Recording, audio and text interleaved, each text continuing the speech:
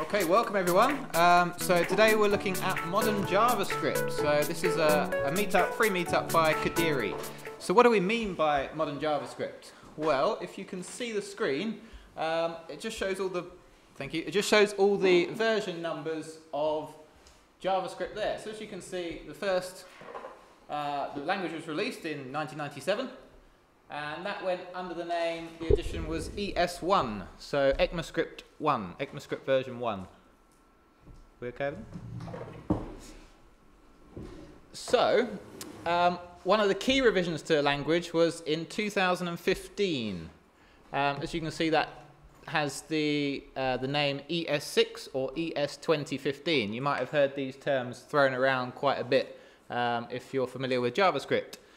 So since 2015, which we're basically calling modern JavaScript since then, um, there are yearly releases, typically coming out in June every year. So there's a new release coming out in June this year, June 2019, um, and that will be ES10 or ES 2019. Um, so yeah, just a little bit of naming terminology first, just to for you to understand what we mean by modern JavaScript. Um, so today, the general format of the session, we're going to look at just a couple of what we think are key features of modern JavaScript. We're going to look at some code examples of those. Um, so firstly, that will be more instructor-led, and you will be volunteering any you will be volunteering any um, suggestions you might have as to how we can so solve the code together. Um, so we've prepared some snippets for you along those lines. So we'll be working in Chrome DevTools with that. Um, so if you want to join us and code along with us, that's fantastic. If not, if you've only got your phone or something like that with you, then um, feel free just to just to do what you can and participate in the discussions. That would be great. So um, yeah. And then at the end, we're going to look at our Kodiri platform and just do some training exercises. But we'll, we'll come to that when we get to it. So uh, I've come out of play. Yep. So, um, won't bother too much with just the words. We'll get into the code as soon as possible. But we're going to look today at the rest and spread operators. So they both have the syntax dot dot dot. If it's not clear what we mean, hopefully this will become clear when we look at some code. Um, they have lots of uses. So there's just a few uses listed up there on the board. Um, so we can gather a variable number of arguments into a single uh, parameter that we can later on use in our functions. And it was touted a little bit as a replacement for the arguments keyword. Um, so the arguments keyword has got a, a few problems. Um, mainly, it doesn't have access to lots of array methods because it's, it's not actually an array. It's an array-like object. So um, the REST operator can solve that issue for us. Uh, we can do other things, copy an array, merge arrays, we can now do similar things with objects since the revision in 2018. Um, and yeah, it's very useful when combined with things like array and object destructuring, which Ricardo will talk a little bit about later. But anyway, enough of the chit chat. Let's just move into some code and look at some real examples.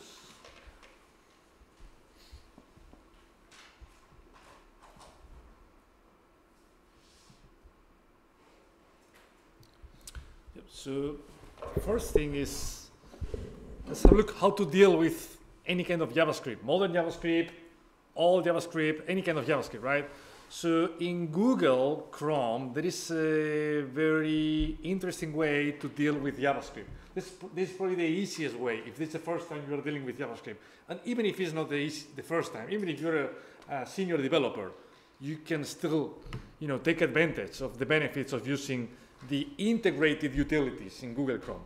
How do we do that? please open a new tab in your browser, right? Just, a, just an empty tab, right? Empty tab. Once you have an empty tab, if you do right click anywhere on the screen, you will see at the bottom, generally speaking the last option, but my case is not the last, but it's, it's at the bottom for sure. You will see an option called inspect. So just click on the inspect link and you will see something like that, more or less. Probably not with a dark theme, will be probably a brighter screen, but anyway, you'll see lots of you know weird things. If you're any familiar with HTML, right? So you know that that that will be something that you may be aware of. the important thing for today is you will find uh, a tab with the name sources, right? Could be the second one, could be the third one, depends on your setup. But you'll find it for sure. Element, network, application, security, sources. Yeah. If it's the very first time you open DevTools, you will get nothing on it. But on the left hand side, you will see a tiny arrow pointing to the right. So if you click on it, if it's not expanded already, you will have an empty list of things probably here. Please note there is another arrow on the very left hand side.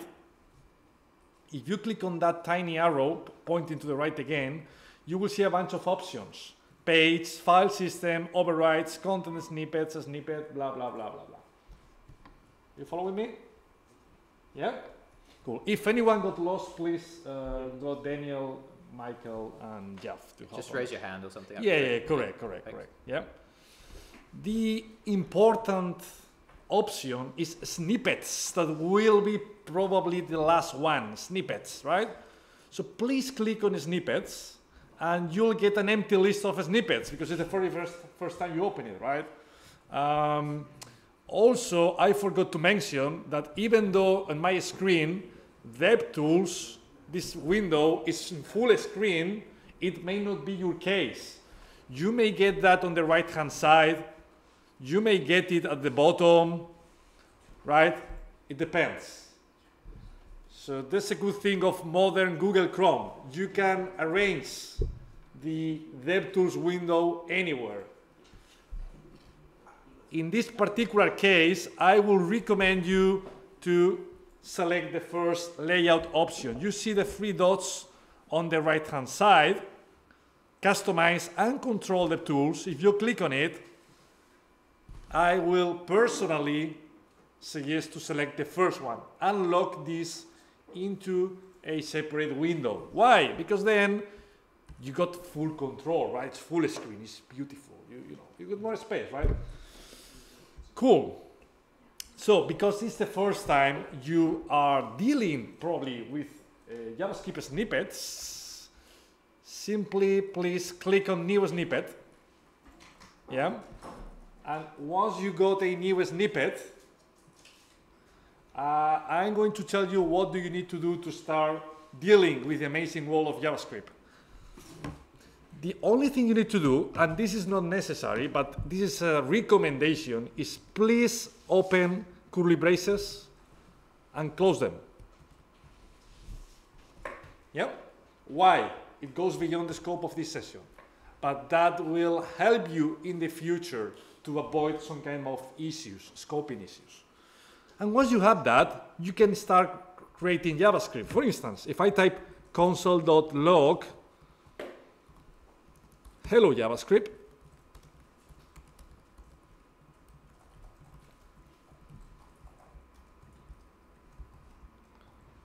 if you type something like that, then we can run the snippet. How do we run the snippet? If you notice, there is a button at the bottom on the right hand side. If you hover over, it will tell you that if you press on that button, it will run the snippet. So if you click on that button, you will see at the bottom this hello JavaScript message. That's the way you prove that DevTools are okay. This is a smoke test. You know what a smoke test is? You know, you have a very old car that used to it belonged to your uh, grandfather or something like that, and you don't know if the car works okay or not. You start the engine, and if there is any smoke from the back of the car, means it works, right? Is it accurate? Of course it's not, right? The car may not work at all. But if there is no smoke, that means that something is clearly wrong, right? So this is a smoke test. If I got a hello JavaScript message, I'm relatively confident, relatively comfortable with the working environment. Any questions so far? No? Okay, so based on that, we already prepared some snippets, and now Gray will go through them. Yep. Right, all yours. Fantastic. So did everyone get that console.log to print out on the bottom of their screen first? If, if not, just raise your hand and someone will come and just check you're all set up properly. there we go. Yeah. Okay. We've got a couple, couple of guys. just fundamental we get these bits uh, sorted and then you can follow along a lot easier. Um, for the rest of you, just have a, a quick look at my data up here. You might want to create an, well, hold on. What, what type of data have we got on the screen? Can anyone just tell me? So, an object, yeah. So we've just got a basic JavaScript object there. Popularity rating. So we've just got some, some popular figures. Um, as you can see, people like Usain Bolt, Denzel Washington, they're quite popular. Uh, poor old Theresa May down the bottom, she's, she's not very popular at the moment due to Brexit. She's actually less popular than Lord Voldemort. So, um, yeah, not too popular at all, really, at the moment. Um, so this is the data we're going to be working with. And as I mentioned earlier, where we're going to particularly look at the rest and the spread operator. So that was introduced in 2015. Um, first things first, does anyone know how to just get the values out of that object? This is another new feature. It's a little bit of an aside, but does anyone know just how to get the values? So by that, I mean the number 77, 33, 72, 89. How do we just extract those values from an object? Anyone know? It's fine if you don't, because obviously that's what you're here to learn about JavaScript. So that's cool. All right. Was actually any any ideas? Yeah, go on. It's not actually using the, the rest and the spread operator in this case just to get the values. Um, go, go ahead. Do you have an idea? Index. Could we use the index in some way? Uh, there's definitely an easy way. um, so there's actually something built into the language called object.values now. So it's a built-in method that we can use. So really useful, does what it says on the tin basically. Um, so if I just uncomment this, just so you can see it. Mm, that one is it, yep. Um, can you just see that highlighted code there? Um, so we can actually write a function just to extract out our object values. We'll just zoom in a little bit more so you can see. Fantastic. So I'm just going to move this down slightly as well, so we've got a little bit more. Oops. Yeah. Fantastic. Good. Um, yeah, so we can actually just write a function like so. Um, hopefully you've written some JavaScript functions before. If not, um, very similar syntax that you'll see again and again and again. So we've got the, the keyword function to say we're creating a function. Um, we've given it a name. Uh, try and be really descriptive with your names in JavaScript. That's something we train a lot here in our boot camps to make sure you write elegant code that uh, you're not going to fall out with your colleagues when you give, it, give all your functions funny names and they don't know what it does at all. So um, get popularity scores was what I called it and then we're passing it that object and we're returning the values by using this built-in function here. So I'm not going to go into that too much tonight because we're not concentrating on that, but that's just a little little aside um, how you would get the values from an object. Okay, um, so based on that, we can set. Oh, what's that? Yep. Sorry, it's not my computer tonight, so I'm uh, doing the best I can. I'm not used to Macs. Uh, this is Ricardo's computer. I hope you got better excuses. no, no better excuses than that. Um, cool. So, what we're going to look at now is just an old way of doing things. So, let's say um, definitely pre 2015 JavaScript, and then we'll look at the modern comparison and see which you prefer. So, the idea of obviously updates the languages, it gets either a bit more readable or more performant. Um, so hopefully you can see that the language of JavaScript is moving in the right direction. Um, so let's have a look at an old way, perhaps, of doing things. So going right back to the start of the language, yeah, we can uncomment all of that.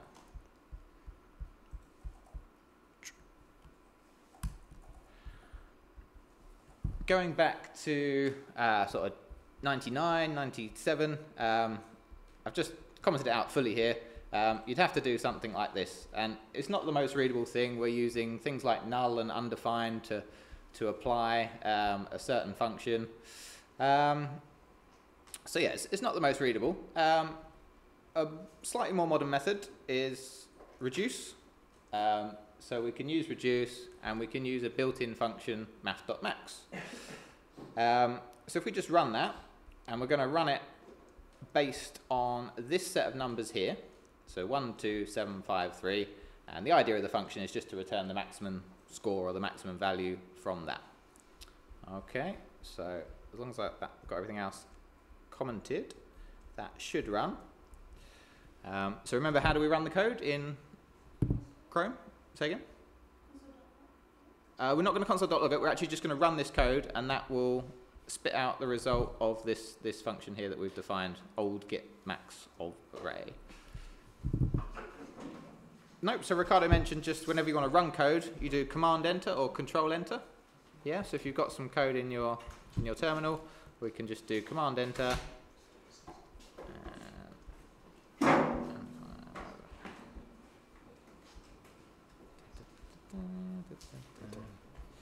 Oh, we're just, yeah, okay, we're just missing a return statement from our, our function here. Okay, and then running that, we would get the maximum number of 7. Okay. Now, has anyone used the set operator before, those three dots? No? Okay. So, I was going to ask for suggestions maybe of how you could do it, but um, I mentioned at the start that the, the rest or the spread operator can take a list of scores and spread them out, perhaps. Um, so I've got a function here. So this is a more modern method we could use. I'm not saying it's 100% yet, but we're, we'll work on it to make sure it works. So again, we're just looking for the max score. That's all we're trying to do. We're trying to return the max score using math.max. And for now, the scores that we're passing in are just clearly visible here. We're not using our, our data from the top yet, but we will look at how to do that shortly. Um, so again, what do we expect this function to return in our console down here when we run it? Seven, yeah, exactly, just the maximum number, right? Um, will this work how it is? Yes or no? Votes from the floor. Not sure? Yes. Yes, it, it looks right, doesn't it? I mean, we're passing in some scores, we're returning math.max and passing in the scores to the, the math.max function. Someone says no, fantastic. Why, why not? It's an array. What's an array? What you, what you want to put into it. What I want to put into it or what I am putting into it? What, what you are putting into it. Okay, so you're saying scores is an array, yeah? So it, this is an array down here with these square brackets. Yeah, why is that a problem? Uh, I don't know the technical reason, but Okay. I know it, um, that can't handle an array. Okay, so let, let's, should we run the code and see what happens? Or? I- I think it won't work because generally speaking, if you said, if you're sure something will work, generally speaking, it doesn't work, right? so if you're questioning will I it know, work, It's that a bit, won't work, right? right? Yeah. exactly. So I'm going to run it anyway, and we'll see what we get. Yeah. Um, but I like the comment about the array. So just let's run this and see what happens. Um, okay, we've got this NaN. So that actually stands for not a number in JavaScript. Um, and that's because math.max is not expecting an array. It's expecting to be passed numbers. Yeah, makes sense. It's a math operation. Um, so at the moment here, we're just passing it an array. They are of numbers, but it's looking for a comma-separated list of numbers. That's just how math.max works. So if we come across a situation like this, we can use the dot dot dot to spread our array into a comma-separated list of values. So that's a key bit of learning right there, yes? So all we need to do to make this work is actually add dot dot dot in front of our scores, like that. And then that will take the array and spread it out into the values. Let's run that again. Seven. It works. So that's a pretty powerful um, use of the, the spread operator right there. So whenever you've got array, an array, you want it as a, a sep separate values for use with math functions. So math.min would work as well. Then you can do something similar like this. Obviously, I know it's hard to code along live with these examples. There's a lot of code to, to rewrite, but hopefully you can go away in your own time, watch on YouTube, and try and reproduce these results for yourself. Be a really good learning exercise and play around with that spread operator see how it works with different data types and all things like that. Okay. Um, yeah, so let's let's now just try and mix it up a little bit and see some other uses of the uh, rest and the spread operator. So, uh, coming back to our example right at the top, um, so what about then if we had maybe two arrays in here, or or some other versions? Should we should we try it with with two arrays? So up here we got our scores from our object. Yep, so we've got these scores here. We ran a ran a function and assigned it into a scores variable. Okay, so if I actually call this function here and I give it a second argument and we pass in the scores that's actually going to be passing in a second array here. Yeah? So, what can we do with the rest operator to make this function still work? I mean, will it work as it as it is? I've asked that question again. no. No. yeah maybe this is a, a, too complicated example to begin with. Maybe we should just look at, um, let's say, let's say our scores were just passed in as numbers themselves. Yeah? So we've actually got five separate arguments being passed in there. Um, so scores is referring to to what in this instance? Anyone know? So this is just say again, yeah. To the first one, yeah. So scores is actually just referring to the number one now, rather than the whole array. So we're missing all this data. Um, so we've looked at how the rest operator can spread, but I mentioned it can also gather. So if we use it up here, um, in the when we're naming the parameters, then we can gather all of these arguments just into one variable. Any idea how we do that? Remember the syntax is the same between rest and gather?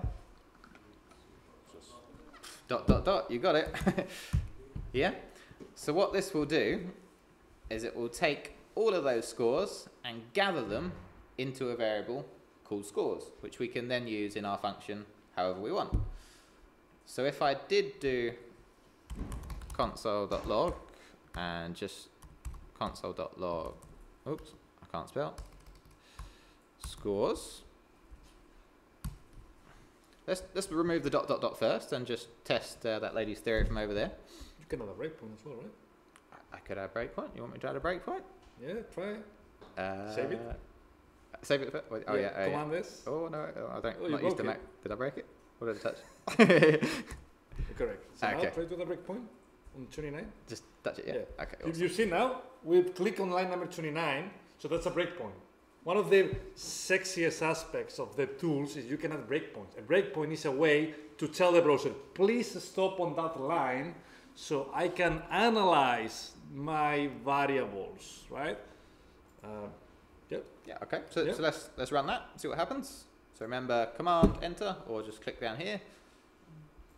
Okay. So it's stopped there, and it's highlighted what a certain variable's value is at that point in your code. Yeah. So on line 29, scores is set to the value 1. So that's correct, yeah? It's just taken the first argument because we've only got one name here. Um, if you wanted to assign a name to number 2, then we could do comma score 2, something like that, yeah?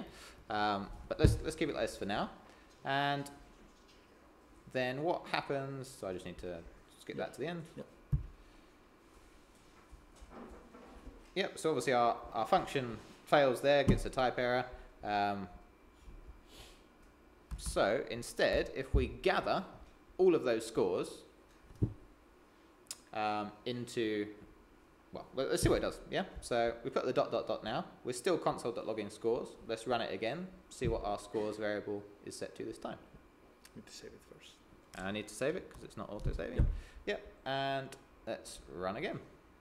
So this time, just by putting those three dots, it's gathered all of those values into an array, and we've now got the values 1, 2, 7, 5, and 3. So the same as we manually did before, but you don't know what type of data you're going to get um, given to your function sometimes. So this is a way of, if you knew that you were getting a comma separated list, this is a way of gathering them into array. And arrays are so powerful in JavaScript. There's so many built-in methods um, in JavaScript to, to deal with working with arrays. So that's another really useful um, use of the, this time, the gather, or the rest operator, as it's called in this case. All right. Um, yeah, we're, we're moving on quite a bit with time, so I think that's probably enough to, to leave it there for that example. Um, so there was one other feature I wanted to talk about as well before I hand over to Ricardo, and that is set. So we'll follow a, a similar walkthrough to these. Um, just back to the slide, Ricardo. So. Yep. Uh, what is it? Yep. Okay. Sorry about the noise, don't know what's going on next door. Um, yep, so we've looked at some examples. Um, and now there's just a little, if you can read that, just a little house warning. So, oh, in fact, oh no, you can't see that, that's good. Uh, it's just on my screen. Um, so, if, I don't know what to say really, but um, just if you're of a sensitive dis- disposition, then just maybe look away now because we've got we've got a problem with something invading our code. Um, so that's what's happened. David Hasselhoff has invaded our code, and he's found a way to reproduce himself to, to boost his very low popularity ratings.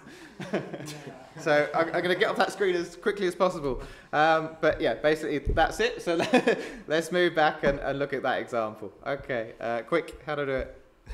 Oh no, it's You stuck. can't, no, I can't. Escape, Yeah, yeah, yeah. escape. You need to restart the laptop, bro. You know. All right, so let, let's have a look here. So as, as we can see, our, our people list has now changed. We've got the same names up there. I know we didn't use our scores from last time. We, we wanted to move on really for time, but um, we, we'll see some similar examples when we look at some training. But anyway, we, we've got a, what type of data now is this? So we've got some people. What type of data? Just shout it out. Array, array, fantastic. Yeah, array because of the square brackets. So it's an array literal like that. Um, and it's filled of a list of strings, right? So all the names. As you can see, David Hasselhoff has appeared many, many times, which is not right at all. So we want this list to be unique. We want to have only one instance of each name per person, right? Makes sense. So there is a, uh, a new data type in JavaScript that was introduced again in 2015. So that was a big revision then in 2015. Um, and it's called a set. So let me just make sure I might need to comment out some of this stuff as well. Um, a few spoilers, sorry. Um, hopefully you can't process that really quickly and we'll just look at this. Problem? Yep. Uh-huh. Uh, yeah, I commented out your little uh, scope bracket at the end, so make sure you keep that in there. Um, yep, so let's, let's just play around with, it- with a set. This is the way we construct a set in JavaScript. So we use the new keyword to create a new instance of a set. And then we open up the brackets, and as an argument, we can pass in um, any iterable object in, in JavaScript. And an array is an example of one of them.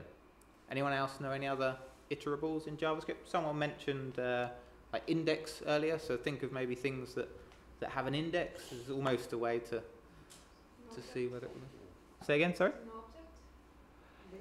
Yeah, so object works with sort of keys and values, doesn't it? So object is not actually an iterable. Uh, if I passed an, an object into that, well, it can be, it can be, but like an, an object literal is, if I if I change that into an object, it wouldn't work with set. It wouldn't work. Yeah. I think we Yeah. should distinguish between iterable and Enumerable. enumerable. Yeah. Right? There's two new things in, in JavaScript world. So yeah. Okay. Yeah. Sure. Um, so an array is one, a string is another one, um, a set itself is uniterable. Um, there are, yeah, probably one or two others, but yeah, um, that'll do for now. So, we're creating a set from this data. So, if I add, let's, let's add a console log in here as well. Uh, and what have I called it? Example set. Yeah. Okay. Uh, that should be fine. Um, so we've got an add method that we can use with any set, and it again it does what it says on the tin. So it just adds that value to the existing set. So we're taking. Uh, right, hold on, let, let's do one more console log just to see what is returned initially. Whoops. Console.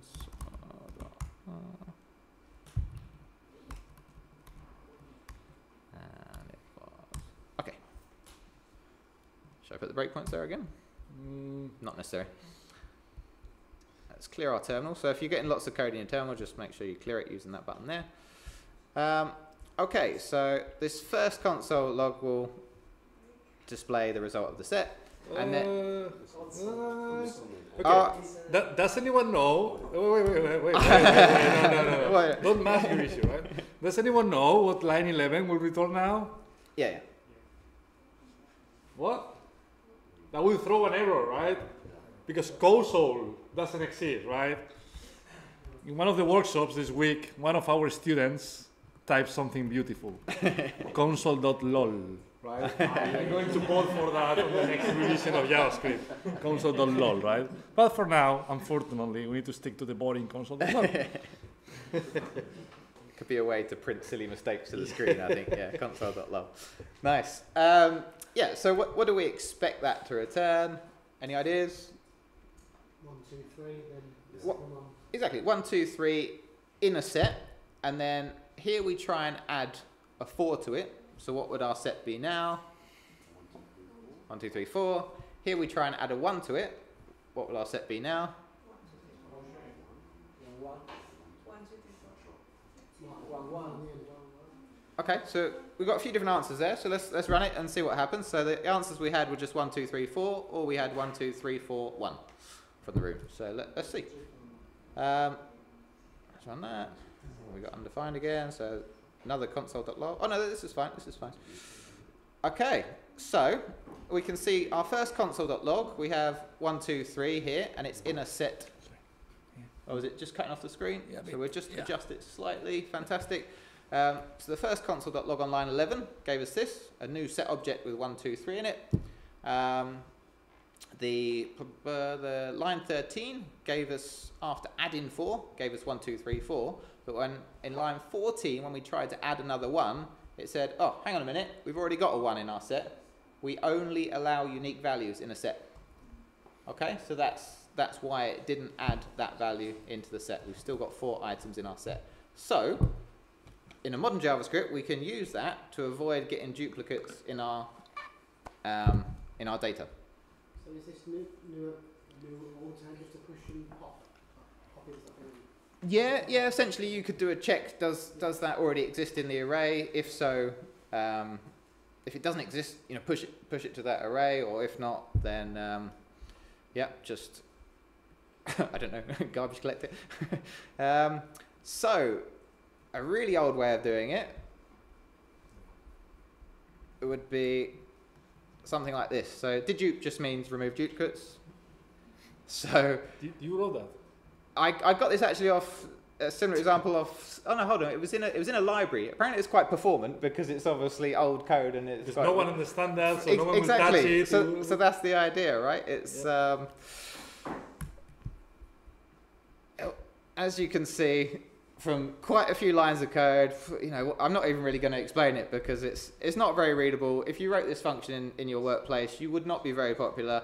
Um, but essentially you're uh, you know, comparing, doing nested loops, comparing, you know, does it does it exist or not? If so, then let's splice out one, and, and you're mutating a, you know, um, mutating objects, which is not not good practice. All things like that. Anything to add to that? Yeah, yeah. yeah. Uh, you know that the majority of the JavaScript experts they tell you you need to create clean code, readable code, so you can work with others, and they will understand your code, and you will be able to work as part of a team. Blah blah blah. There are other developers that they say the, the, the opposite. Please create as bad code as possible. The, the worse, the better, right?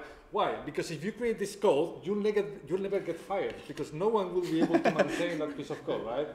So probably shouldn't say that while we are recording, but anyway, off the record. let's, let's see, does it actually work?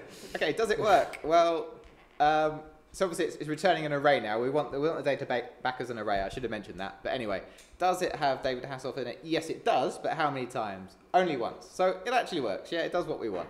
But there are simpler ways to do that. um, a slightly more modern way we could, could do is, is here. Um, so again, this is sort of the ES5 uh, around 2009, 2011 um, sort of version. Quite a bit more readable, using really useful array functions like filter. So again, we're filtering out based on certain criteria.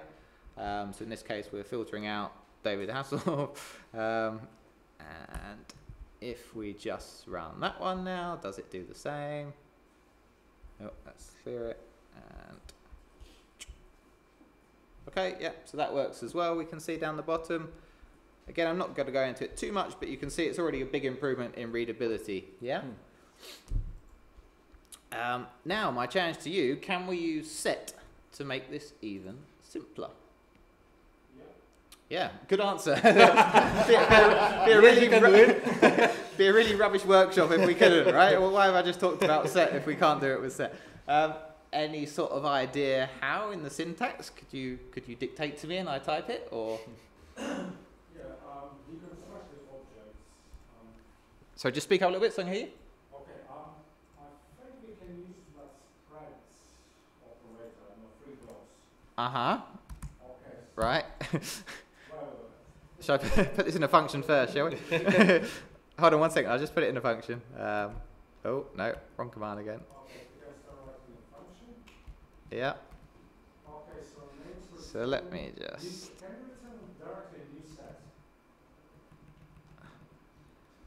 Uh, rid of it all? Um, New function. Alright, so that's fine, that's there. Alright. Any arguments? I can be one argument, Called? Um, so what we're trying to do, we're trying to uh, filter out some certain names, yeah? So I could pass it names. Names. Okay. So we're trying to return something new. new. So we're using the new keyword. Yeah, so we're creating a set. Good start. Okay, so if we close it. Yeah, And we use uh, spread. spread it. Yeah, three dots as before. Fantastic. Yeah, Names. names. In theory, it shouldn't work unless we integrate it before. You can uh, close it. You, you done? So you're trying to create a new set. You're trying to spread the names. Okay. Um, so what do you think that will return? Error Error. it's not very convinced, That's right? not the right answer. um, error or reset.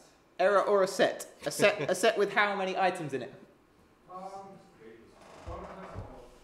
One One Hasselhoff. So, so, so eight items. Fa- fantastic. Um, so let's run it. I might need to change the. Uh, just need to call it first. Yeah. So, oops. Attempt. And what have I called my data at top? People. Okay. Uh, okay. And we've got some weird dot dot dot where I started writing your function. Okay, let's try running that. Oh, look at that. I've got some interesting results there.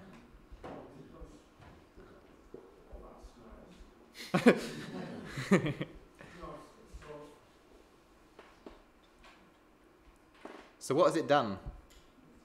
So it's a it Did it take every single one? Every single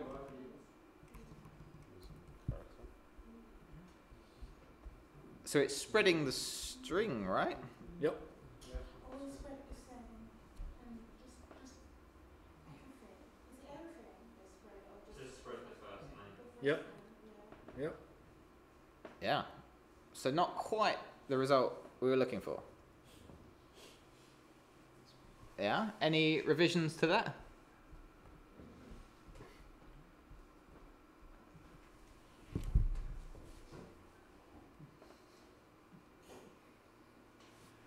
So if we did just a new set from the names, because remember an array is an iterable, Yeah. what will we get now? Does it accept array? Yep. Um, so you can create a new set from any iterable object, and an array is an iterable object. Ah, Yeah. So let there's a good chance. let's let's see. Okay. So we've now got a set with eight elements in, Yeah. which which is a fantastic start. Um, and, and and if you're happy working with sets, then that could be the end of it. But um, if you notice in our previous examples, we were trying to return. Oh, I've cleared them now, but we were trying to return an array with eight elements in. So there's just a small revision that we can make to actually. Yeah, go ahead. Yeah. Yeah, can you cast it? Can we cast it? What do you mean by cast it? Um, change the type. Change the Oh, type. so instead, instead of it, a new set into, can we enclose it in a new array So are we returning an array? if they have to? yeah, yeah. Uh, let's say for the purpose of this question, we want to return an array. So are you saying enclose our set in an array? Don't I have to call it like new array to construct a new? or- No, we can actually just use square brackets to create a new instance of an array.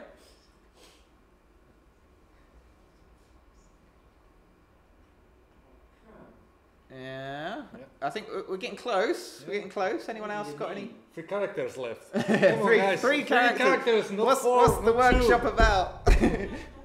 dot, uh, how many? Dot dot dot. Did you say? Yeah. okay, so basically the dot dot dot will work on any iterable as well, and a set is an iterable, so we can spread sets just the same way as we spread arrays. So we previously had this set down here with eight elements. If we want to spread them into a new array, we can go dot dot dot new set, and that should return an array with eight elements. Let's let's run it, and then I will pass over. Let's, hold on, we had the console logs in there as well still, I think. So let's run it. Oops, run it over here. How about that? An array with eight elements. So yeah, play with those examples in your own time at home. The rest in the spread operator, the dot dot dot syntax, and a really new a new useful data type called a set, which will help with many things. But one good use is creating unique um, collections of elements. All right, guys, I think I'll pass over now. Yeah. So thank you, Gray. Uh, so basically, Gray has been talking about how JavaScript has evolved since 1997 to 2015, 16-ish. Now, I would like to move on, and I would like to show you a relatively complex example, which I'm not expecting everybody to understand, but I would like to show you how to do things with modern JavaScript versus very modern JavaScript, to see how much the standard has evolved since 2015. So, do you know what GitHub is? Yes? What's GitHub? Yeah, correct. GitHub is where the code is. GitHub is the Bible of coding, right? According to GitHub, JavaScript is not only the most popular programming language in the world, it's more popular than top two and three combined, Python and Java, right? That's the way to prove JavaScript is the right language to learn if you want to break into the market. So, uh, the example I would like to run is I would like to integrate with GitHub API. So I would like to fetch some data from the internet, right? So I'm going to do some coding. Let's see if it works. And I would like to show you how to do that with modern JavaScript and how to do that again with very modern JavaScript. So uh, the very first thing is I'd like to show you how to integrate with GitHub. So, for instance, um, you know that GitHub has some APIs? And for example, do you know what React is? It's another type of JavaScript. It's a library. It's the framework. There are some very hard discussions on the internet. Is JavaScript a framework? Yes, no, tell, tell me outside. People get very aggressive on that. Right. It goes beyond the scope of this session to explain is, is, if, if React is a framework or a library. It is a library, right? So uh, it's actually one of the most popular repos on the internet in GitHub. You know how many stars React has today? How many people like it? 122,000 people. It's a lot. Yeah, that's a lot. So React was developed by Facebook. We do lots of meetups about React. So if you're interested in that, on the 27th, I think it's the last meetup of the season. Very popular. Today, I would like to show you how to get data from the React repository in GitHub. I would like to show you how to get, for instance, how many issues React has. If you find a problem with React, you can create a new issue, right? And the React team will look after, hopefully one day. I would like also to show you how to get releases. What's the current version of React? What was the previous version? When was it released? All these sort of things, right? And then at the end, I would like to compare it a bit against Vue. You know Vue, JS? Is the big rival today, right? There is, you know, China versus United States, React versus Vue, right? So these are the top, the most popular UI libraries in the world today. Yeah? Actually, it's interesting because Vue passed recently React on stars. It's not 122K, it's 128K. It's a big fight, big fight, right?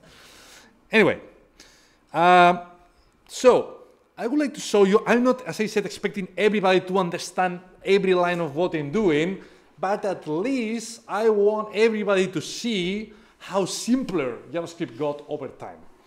So the very first thing I would like to do is I would like to create a function to fetch the data, to get the data from, uh, from GitHub. So how do we do that? I'm going to create a function here, oops, function fetch data. As part of that function, I will receive an endpoint. An endpoint is essentially a URL, right? A URL, external URL that will give us some data. So then, with modern JavaScript, we can do a request. We can do fetch endpoint, and then we can use then to transform the result into JSON, into something readable for JavaScript. That's the most simplistic way to go to the internet and get data from the internet, right? So I will again do a smoke test just to see if it works. So look, I'm going to invoke fetch data dot then. So I got the data. So I would like to do console.log. Here is the data. So if we run that example, Yes, again, to see if it works or not. Ooh, right, it doesn't work because I forgot to return. Every time you create a JavaScript function, generally speaking, we should return something. Look, you can see after my change, immediately I got data from the internet. All the details of the React repository, lots of details, lots of things here, right? whatever, whatever they mean, right? So the GitHub API is pretty sexy, to be honest. So for instance, this gives us an overview of the React project. But if I want to get a list of the latest issues, do you know how to do that? we can do slash issues. Yeah?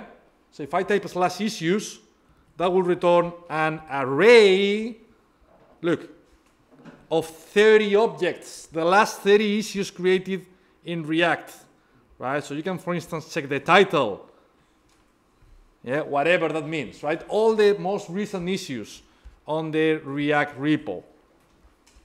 Right, so, and also I can get the, last, the latest releases. Instead of issues, I can type releases, right?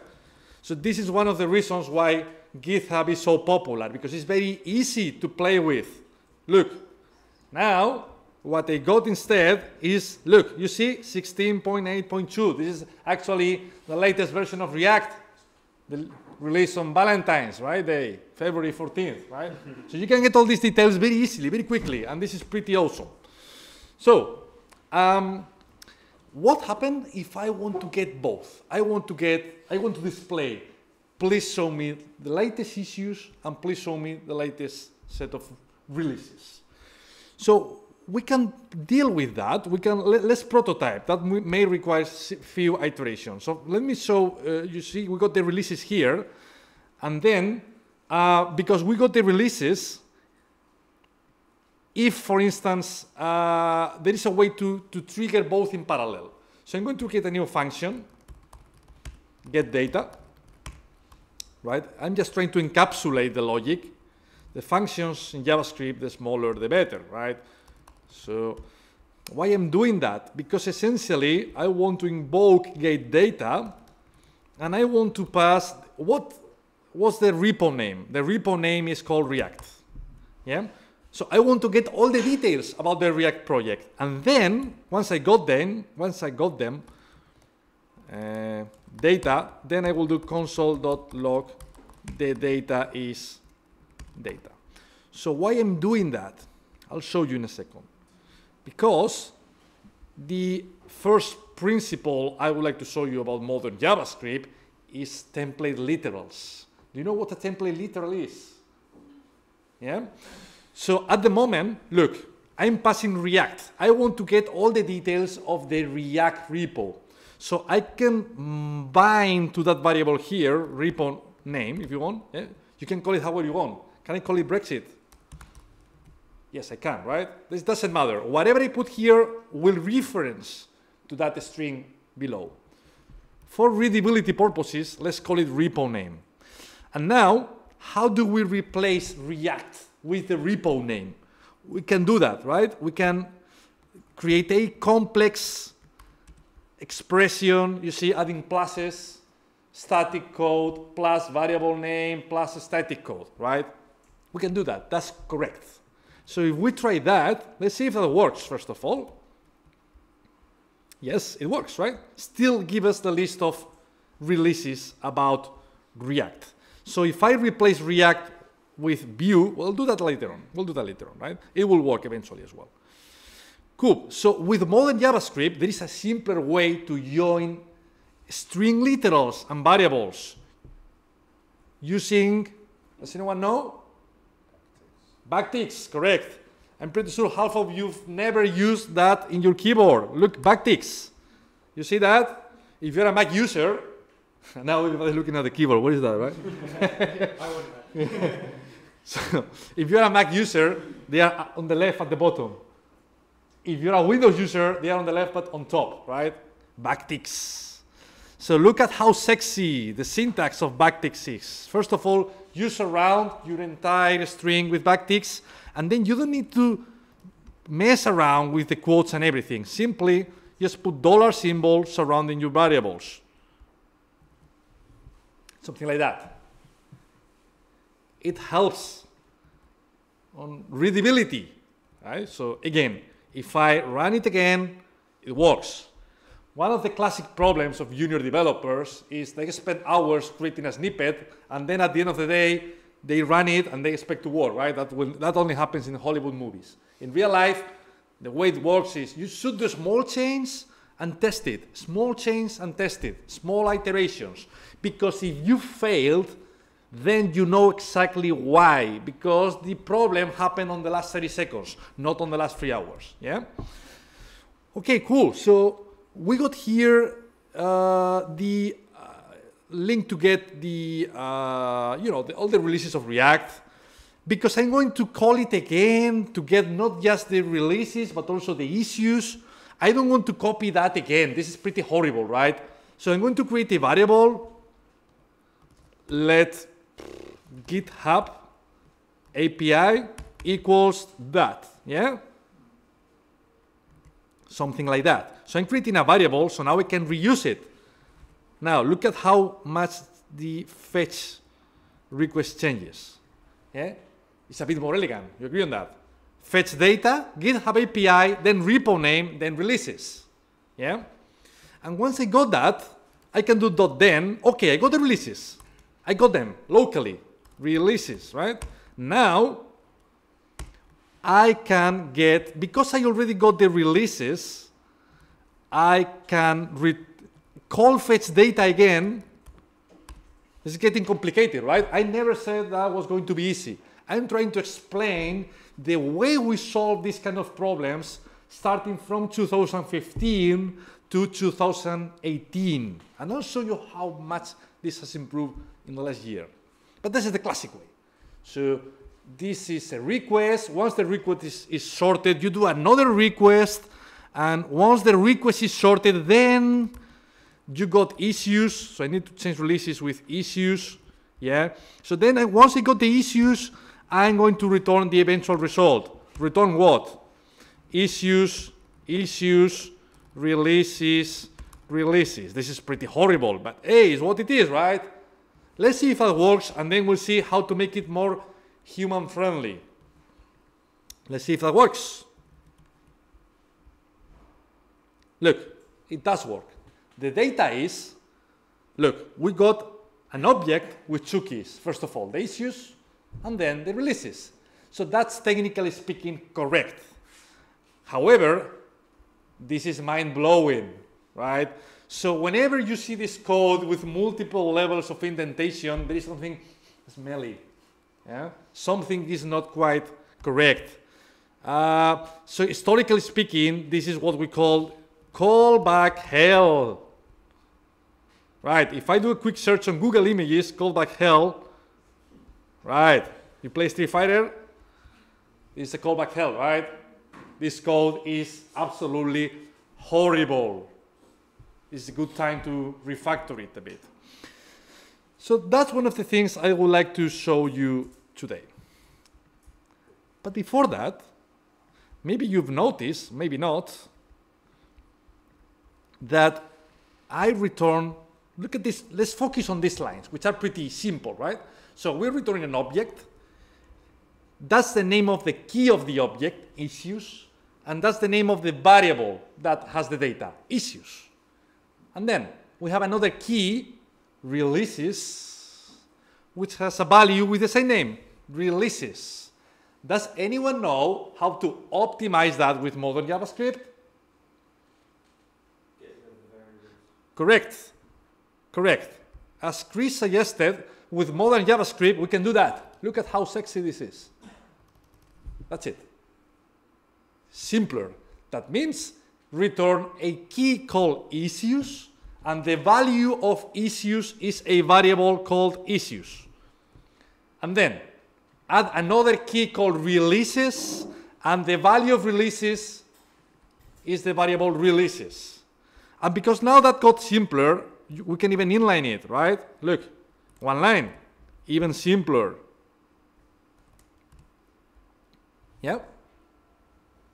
Return issues releases. Simplicity. If we run the example, it should still work.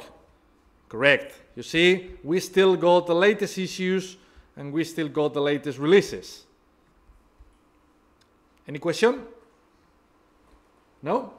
So I would like now, and this is the very last change I will introduce today, how to solve the very same problem.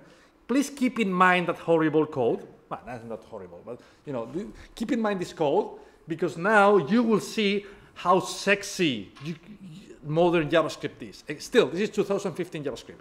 Now we will introduce 2018 JavaScript. Have you ever heard about something called async await? Yes, this is probably the most, the hottest topic in modern JavaScript.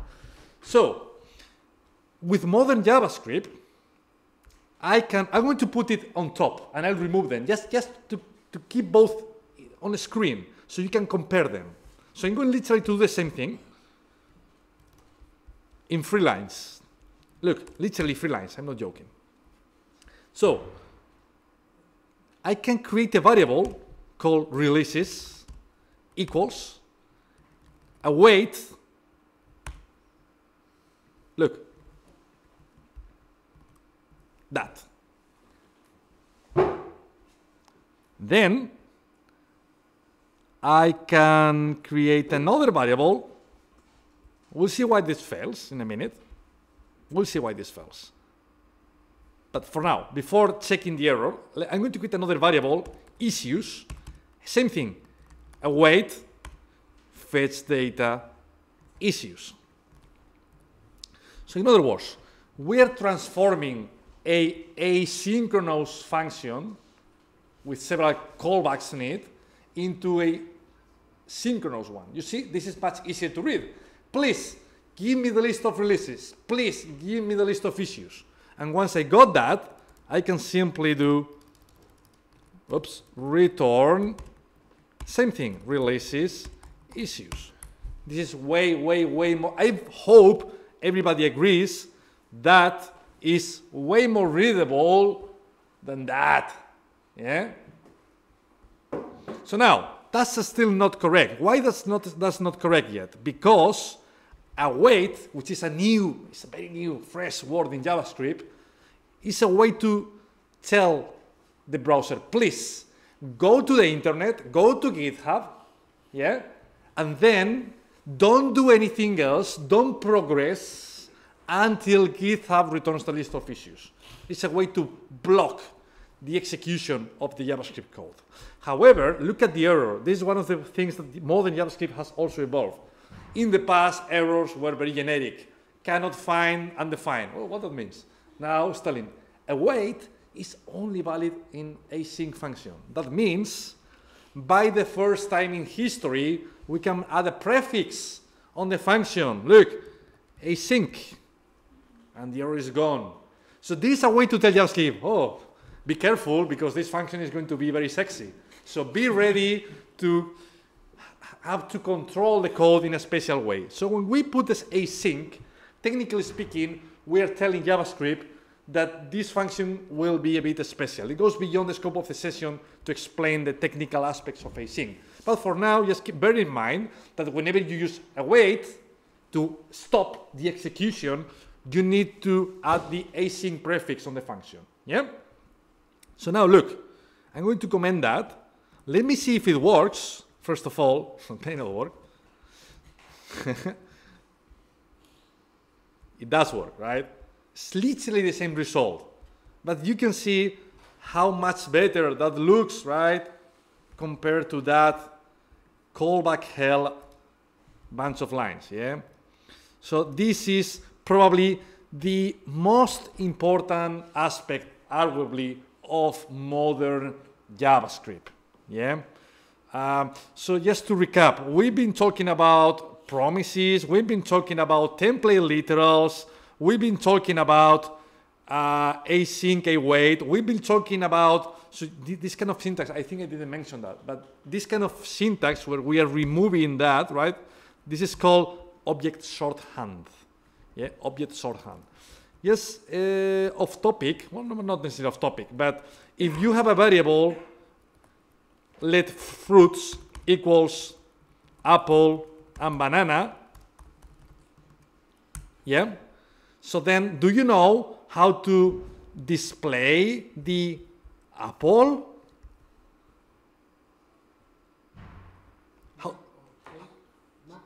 No, I want to access the first element of the array. How do we do that? Correct. We can do that, right? Fruit zero. So if we do fruit zero, that will display what? Apple. Correct. Correct. Correct. Correct. With modern JavaScript, we can do something very sexy, which is called uh, array destructuring. So we can type let look at that apple, sorry, uh, like that apple comma banana equals fruits. Does it make any sense? So here we're creating two variables, apple and banana, and then will be, they will be automatically assigned. Apple will be assigned to the first element on the array. Banana will be automatically assigned to the second element of the array. So if we display console.log apple, what will that display, guys? Apple, correct? Yeah? If we add some exclamation marks, will display, right? Whatever goes on the first element of the position. If we put Donald Trump, it will get displayed as well. Yeah? So that's the way you destructure an array. The same principle applies to objects. So if I have a variable called character equals first name Donald, last name Trump. So the way, sorry, this, that's wrong. The way you access the first name and the last name, you can do a console.log. You can even create a variable, right? You can do let first name equals character dot first name.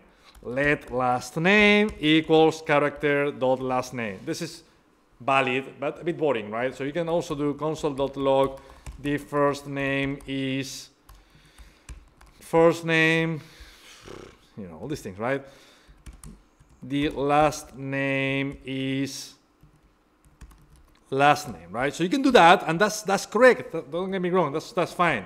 You see, the first name is Donald, the last name is Trump. But with modern JavaScript, we can simplify that.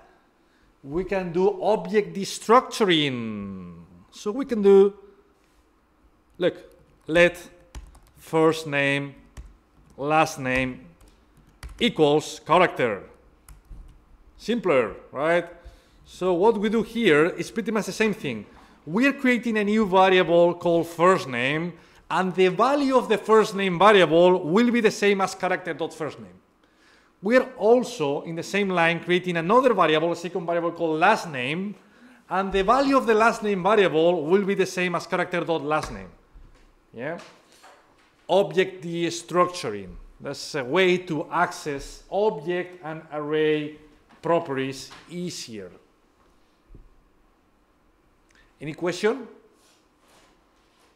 No? Because we are a bit out of time, the last part of the session, which will be 10 15 minutes, and then we'll call it a day, is I would like to do an interactive test with you, with whoever is interested.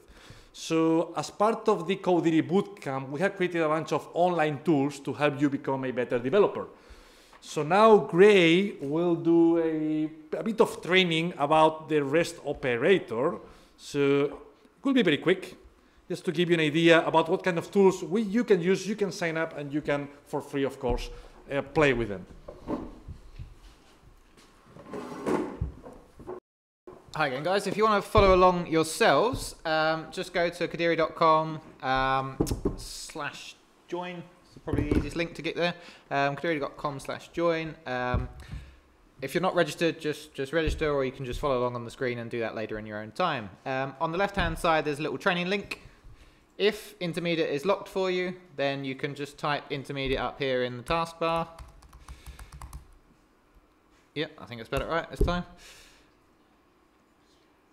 And that will bring up a list of the intermediate training, and we're going to look at the REST operator because that's what we've done today. So let's just have a look on there. And now it's over to you guys to do a little bit of work. So yeah, let's zoom in so you can see it.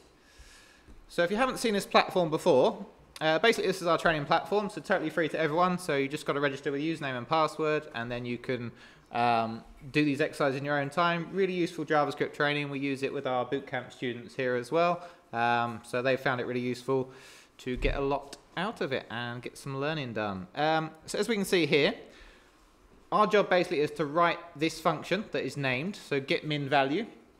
And when we pass uh, these, these arguments or these, this bit of data into the function, this is our expected result on the right-hand side.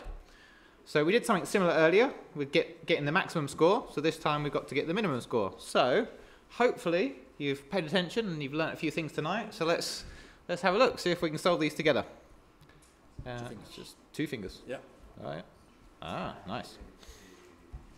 Okay, guys. So can you write the function for me? What do you think needs to go in here? Shall I zoom out so we can see the whole thing, or what do you reckon? What's best?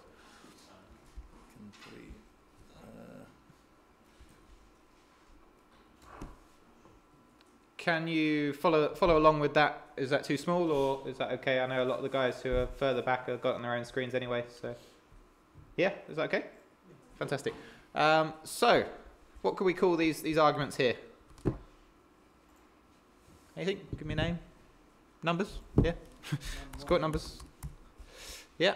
Um, and it's a function we need to return. So what shall we return in this case? And you've got some little hints down here on the left. It says, please use math.min alongside the rest parameter. So, uh, yep. Use math min add on max. Good start. Okay, so we're returning math.min. Spread out the numbers. How would we spread out the numbers? Dot, dot, dot. What? I've called it numbers, so spread out the numbers. Okay. I'll leave that off for a second. Um, should, we, should we run that? So in our platform, just Yep. Just bits. Yeah. on. Yeah. Okay, so how we evaluate our code in our platform, there's a little blue button up here, which looks like a chemistry set, a chemistry uh, flask, whatever you want to call it. Um, if we click that, that will run our code and evaluate it against our expected test conditions over here. Yeah, our, our tests here to validate our code. Um, so we can see it's gone green, everything's correct, but um, there's a little elegance console down here as well, and it says missing semicolon. You, you had something to say? No, no, you're right. No, that's right. Yep. So um, that's just a way of making sure that we write elegant code and, well, yeah, I won't go into it too much, but it's something we train in the boot camp again. Um, so if I run that now, says no elegance issues found, and we can move on. All right. Okay, guys, so you know the format. Someone suggests how we're going to solve this one. So can we all read that? So our task is to um, yeah basically sort the numbers that are passed as separate arguments you notice here. Yeah so we've got one number comma another number comma and then gather that shall we say into an array and sort it. Yeah? So any i i'm really good with mac trackpads in case you haven't noticed guys. All right. Um, so, any ideas? Who can start me off? So first, we just need to name our, our parameter. What do we have? Yeah, same numbers. We had numbers, right? Fantastic. Return as always, yeah. So we get some result back. What next? Did we have any hints on this one? Probably said use use sort. Use the array method sort and use the rest parameter to capture the list of arguments. So remember we've got three different arguments there, or in this case we've got four. In this case we've got three. In this case we've got two. So, um, oh, look, Right. now Ricardo back Yes, that right. All right. I'll go back. Uh, yeah. So rest. Rest over there. Fantastic. Yeah, yeah, yeah. Okay, so I'll just write in what we had again. Um, but for instance, if we had two numbers, we might put in numbers as num1, comma num2. Oops, um. Something like that. But that would only work for the case if we had two numbers. So using that gather, that, um, yeah, the, the dot dot dot operator, we can make our function work for a variable number of arguments. So we called our argument number, or numbers. Yep. But if we wrote it like that, that would only, remember when we had that case and we printed out the number one to the console? It only would print out that first, it only would assign um, the variable to the value of the first argument. So how do we make it?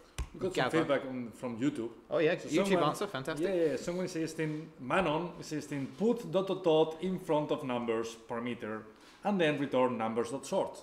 Okay, let's try that. So Manon said put dot dot dot to gather all those numbers into just one variable. So that will create an array with all those numbers, variable amount of numbers, depending on our test case. And what was it? He said return numbers dot sort. returns return numbers dot sort. Okay, just like that with nothing inside. Yeah, that's what he suggested. yeah. Okay, and I'll put the semicolon this time. Yeah.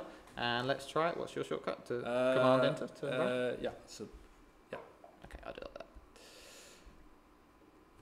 Correct. so he's right, right? Fantastic. Good.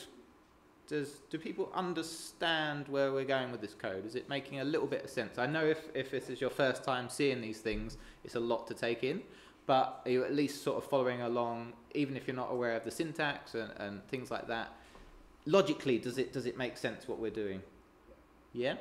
Is there a simple way to sort it the other way around, like from six to minus one? Yeah, yeah, good question. Um, so the default sort is ascending, yeah? So if we wanted to sort it descending, you can pass a. Um, Just do that and then dot reverse. all right, that's, that's one method, yeah. So you could do numbers dot sort, and then there is another built-in method called dot reverse that we could call as well. Um, obviously, I'll evaluate this. It will be wrong for this question, but we can see what it returns. So you see now it's reversed the order of our sort. Um, and with, with the one case, it was still correct because there's only one number. There is another way to do that, however. Um, you can pass, whoops, can pass a callback function in here. So this is not callback hell. This is a good way to use callbacks uh, in this function. Um, so if I passed in number one and number two, for example, this is modern syntax as well. So this is a, an arrow function. Um, yep. So if you can see that there, and the the default ascending way of sorting is doing num1 minus num2. It's just passing it basically a sorting algorithm so it can work out based on the value of that, whether it's minus um, 0 or positive, which way to sort it. So num1 minus num2 will sort it ascending. So clue maybe to how to sort it descending? Number two minus number one. Num2 minus nu- num1, exactly. Yeah. So that's a way to sort things descending. And yep. So why can I not pinch? um, so if we run that, and the result is exactly the same. Yeah. So we've still got um, our array in our descending order. Yeah. Thanks for that question. It's really good, useful, um, useful thing to be able to do in JavaScript. So a couple of ways there we suggested using reverse or um, passing a callback function to the sort method. All right. Um, we got time for any more? Yeah. Probably you can s- Yeah, it, right? Yeah. Yeah. Uh, So that was just a, a quick intro to our training platform. So the standard is it gives you 60 minutes for five questions. Um, so we've just skipped. Oh, we didn't. oh, and we didn't submit that correct answer for the for Oh. the second one. Oh, what a shame. We should have changed it back, but we got it right, and then we changed it to the wrong answer because we reversed the sorting algorithm. But no matter, no matter. Um, do you want to talk about these, or shall I go through these? Let's go. Yeah. Okay. Cool. So um, yeah, hopefully this will be for those new to JavaScript, and even for those who are maybe modernizing their JavaScript skills or um, want to brush up on their JavaScript skills. We've got three different levels of training: beginner, intermediate, and expert. So this was intermediate. So there are easier, more basic things because we covered a lot of ground today, but this is just where we've put the, the rest and the spread operator on our platform. Um, so once you've completed your exercises, there's some really useful metrics here, and we do actually use these on the boot camp to, to send out to employers and things like that who are interested in hiring JavaScript developers. So if you get a good rank on our platform and, and things like that, then it does boost your boost your profile if you're looking to break into the tech market or um, get a new job uh, using JavaScript, something like that. So basically, our, our five metrics we measure are tenacity, accuracy, speed, and focus. So tenacity is basically um, do you persevere? Do you keep going? You know, when things get tough, do you, do you answer every question? You know, maybe you skip it, but come back to it, things like that. Accuracy is how many times once you submit, maybe you got that red answer. Um, so that would reduce your accuracy every time you get a red answer on the left. Um, but, uh, you know, obviously you get good marks for getting a question correct. Um, but your accuracy will go down the number of attempts that you uh, need to complete that. Speed is fairly self-explanatory. How long it took you to answer the questions. Focus, did you go to Google um, and leave the page to look up answers or, or just get some ideas? Following the hint links and elegance, obviously we spoke about earlier. Make sure you write that elegant code. So we've looked at async await today. Um, looks a lot more elegant, you could say, than, than some of the older methods. But elegance is more pulling up on things like your semicolons, um, your indentation, making your code readable, all things like that. Um, yeah, go on. Yeah, and, add some more time? Yeah, uh, just to wrap this up. So apart from the training, here we do uh, coding challenges. So just to give you an overview. So for instance, uh, this is the last coding challenge we play, right? So coding challenge means you do the same JavaScript test all together at the same time, right? After running the challenge, essentially we compare the results, right? So we, we showed essentially the result, right? So who, who finished last uh, from the bottom, right? Different scores. We analyze where everybody failed, right? Uh, you know, all, all the sort of things, right? And apart from that, uh, we also, as part of the bootcamp, we analyze the code, right? So you can see for each question who was right, who was wrong, different coding styles, different strategies. You know, look at, for instance, this guy, right? He wrote a massive, massive solution, but eventually he found the answer, right? So this is the type of things that we do on the on the bootcamp. Over, we got about 400 developers on it already. We opened it on the 1st of November. And then you can see that eventually you go on the ranks. I know some of you are here already, right? So this is free to use, so feel free to sign up and start doing training. This tool that we have created internally as part of Codit is one of the reasons why our students get a job after the bootcamp, right? Because we can deterministically show how good everybody is, right? We got very senior people. We got even Google employees in here, right? So yeah, if anyone is interested to code professionally, just FYI, we got one place left on the uh, full-time plan and one place left on the online plan on the next spring bootcamp that we run on April and May. So if anyone wants to join us and start working as a developer, making a lot of money, working remotely, and all these sort of things on the website, you get a link, book your place. So simply, please enter your details, and we'll come back to you as soon as possible. Apart from that, anything else, Greg? No, just uh, thank you, and I hope you found that useful, and it's given you a good overview to, to what we offer here. And there's plenty of exercises there that you can go away and, and do um, in your own time on, on our training platform.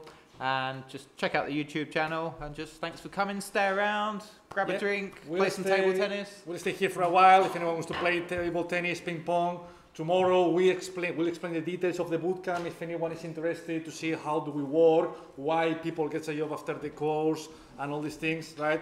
And next week the last meetups of the season, because in March we'll be fully focused on helping people to get a job. Yeah. Apart from that, we'll present the platform in March in Amsterdam internationally and in Google Campus in April. So it was a pleasure to catch up with you today, guys. Looking forward to see you soon. Thank you very much.